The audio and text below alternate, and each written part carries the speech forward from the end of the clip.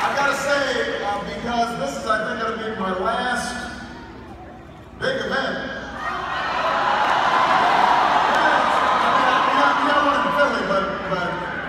You know, Michelle's talking there, so I won't get any attention.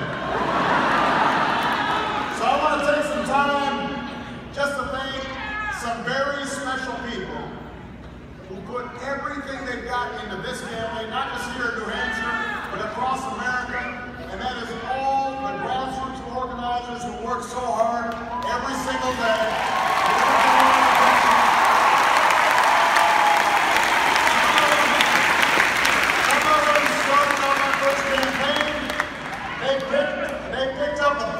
get the